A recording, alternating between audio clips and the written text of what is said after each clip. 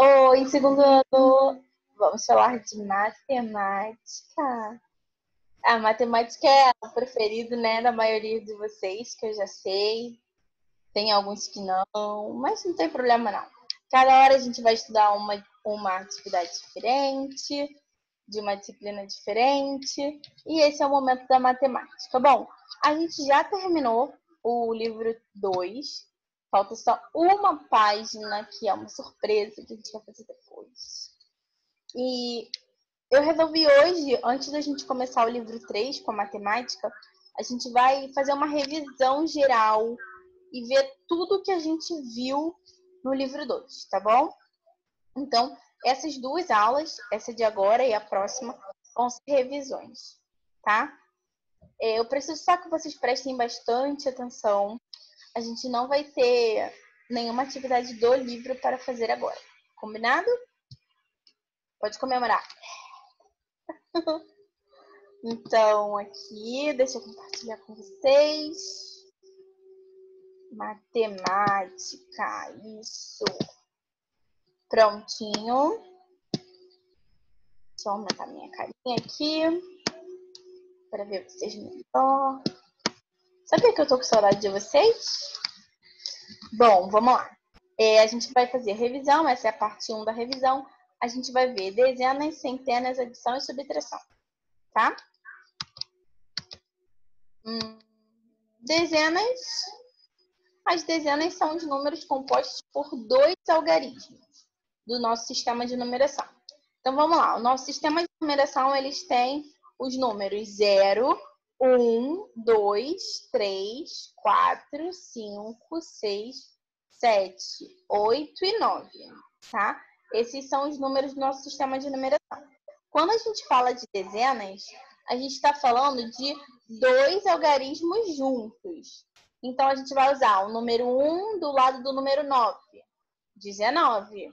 A gente vai usar o número 4 do lado do número 5, 45. Então, a gente chama de dezena toda vez que um número tiver dois algarismos, ok? Cada algarismo representa uma ordem. E aí, observe aqui no quadrinho. A primeira ordem é a ordem da unidade e a segunda ordem é a ordem da dezena, tá? Primeira ordem é a ordem da unidade, segunda ordem é a ordem da dezena. Bem simples. Então, depois do número 9, a gente começa a visualizar todas as dezenas, porque vai aparecer um algarismo e o outro do lado. No material dourado, a gente representa assim: um cubinho, uma unidade, uma barrinha, uma dezena. Foi? Material dourado é fácil, unidade e dezena também. Vocês já viram no primeiro ano, a gente já viu na escola pessoalmente, a gente está só revisando. Centenas. As centenas são os números compostos por três algarismos do nosso sistema de numeração a gente vai pensar igual a gente pensou com a dezena. Só que ao invés de terem só dois algarismos, a gente vai usar três. Por exemplo, eu vou usar o algarismo 1, o algarismo 2 e o algarismo 3. 123, ok? Então vamos lá. A gente fala de centenas, os números acima de 100, tá? Depois do 99, a gente começa a centena. 100, 101, 102 e vai aumentando, ok? Cada algarismo também representa uma ordem.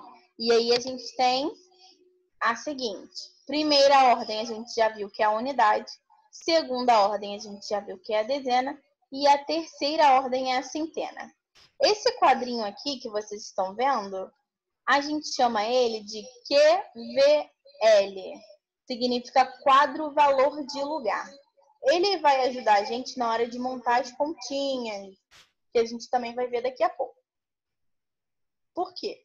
Quando a gente monta esse quadrinho, a gente já sabe ó, qual é o número que vem aqui, que ele tem que ser o número da unidade, qual é o número que vem aqui na segunda ordem, que é o número da dezena, e qual vem aqui na terceira ordem, que é o número da centena, tá?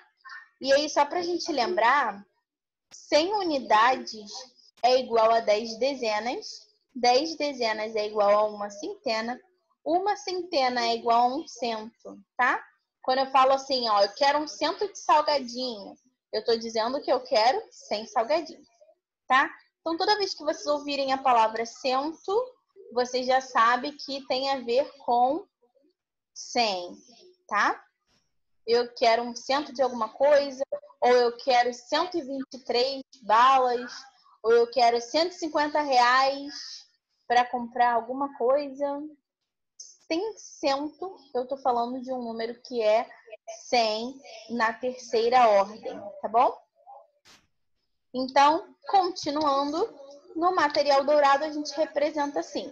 Já sabe que o cubinho é a unidade, já sabe que a barrinha é a dezena e a gente tem uma placa que representa a centena. Vamos lá? De uma maneira diferente agora, para vocês visualizarem. Esse daqui é um adesivo que eu gosto muito, de uma amiga minha, da casinha da professora. E ela mostra pra gente como é que funciona a centena, ó. Um número aqui, 122. Aqui tem a unidade, que é da primeira ordem. Aqui tem a dezena, que é da segunda ordem. E aqui tem a centena, que é da terceira ordem. Quando a gente vai falar do quadro valor de lugar na matemática, a primeira ordem é o último número, que é esse daqui, ó, porque ele é a unidade, tá bom? Aqui tem 100 é igual a uma centena, 100 é igual a 10 dezenas ou uma centena. Aqui a gente tem a representação desse número no material dourado, cubinho representa a unidade, barrinha representa dezena, plaquinha representa centena. Foi? Até aí foi bem fácil, né? Isso vocês já sabiam. Não sabiam? Claro que sabiam, porque vocês são espertos. Bom, continuando aqui, a gente tem a adição. A adição, ela traz para a gente a ideia de adicionar, de somar, de aumentar uma quantidade. Então, toda vez que a gente fala de algo que vai aumentar a quantidade, que vai somar uma quantidade com a outra, que vai juntar uma quantidade com a outra, a gente está falando de uma adição, que é a continha de mais. Para fazermos a adição, é importante seguirmos os passos da aula anterior. Lá da aula 12, quando eu fiz a continha no quadro, eu falei para vocês de três passos. Ocupar a posição correta no quadro valor de lugar, que é você colocar o número no lugar certo, unidade embaixo de unidade, dezena embaixo de dezena, centena embaixo de centena. Colocar o sinal da operação, que é o sinalzinho de mais, né? Que é aquela cruzinha assim em pé. E começar sempre calculando pela unidade. Então, você vai começar sempre pela primeira ordem, tá?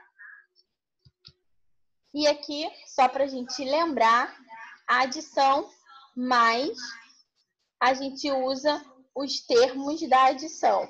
Primeira parcela, segunda parcela e a resposta a gente chama de soma ou total, tá? A gente sempre calcula começando pela unidade, então a gente coloca aqui 4 mais 2 igual a 6, 2 mais 3 igual a 5. Você percebe? É sempre a ideia de aumentar. Eu tinha 4, coloquei mais 2, fiquei com 6. Eu tinha 2, coloquei mais 3, fiquei com 5. Muito bem. E a gente tem a subtração. A subtração é a ideia de subtrair, de reduzir, de diminuir uma quantidade. Então, para fazermos a subtração, é importante seguirmos os passos da adição só que a gente vai calcular o inverso agora. A gente vai seguir o mesmo passo. Colocar os números no quadro valor de lugar, colocar o sinal de menos, que no caso é aquele só um tracinho, e a gente vai fazer o cálculo começando pela unidade. Exatamente o mesmo processo, só o cálculo que a gente vai inverter. Ao invés de a gente aumentar, a gente vai diminuir, tá bom? Importante, na subtração, o número maior ele deve ser escrito em cima, sempre, na parte do minuendo.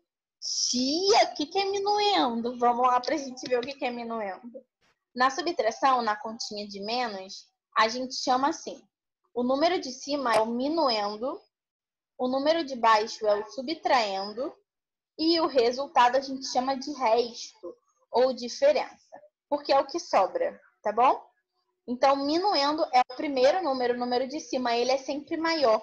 Tia, por que, que o número maior tem que ficar em cima? Porque se eu tenho 72, eu nunca vou poder tirar 89. Não posso, vai dar uma conta errada, não existe. Eu, eu só posso tirar daquilo que eu tenho, tá?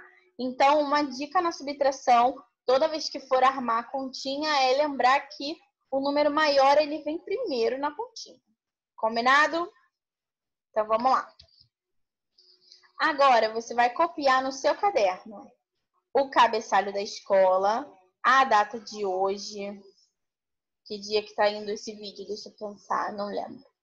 Depois eu vou ver direitinho e coloco para vocês.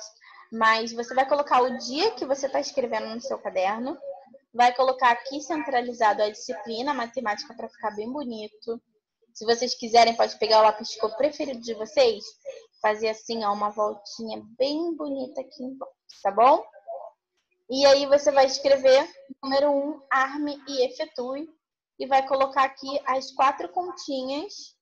Depois você vai montar as continhas e fazer o cálculo no seu caderno. Ah, não esquece. Toda vez que tem um X, você tem que pular uma linha, tá? Começa escrevendo na linha do seu caderno, na margem. E eu quero uma letra bem bonita e letra cursiva, tá bom? Eu vou deixar essa parte aqui na folhinha de atividade, para vocês poderem visualizar. Quem preferir, já tiver com o caderno aí, só dá um pause no vídeo e você consegue copiar, tá bom? Um beijo, até a próxima aula.